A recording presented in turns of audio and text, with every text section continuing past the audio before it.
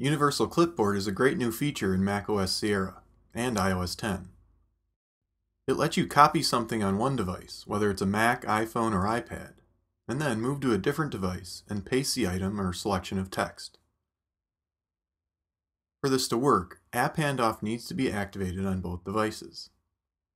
On a Mac, that's done in the General pane of System Preferences. And in iOS, Settings, General, Handoff. So I'm going to copy a chunk of text here in Safari on my Mac.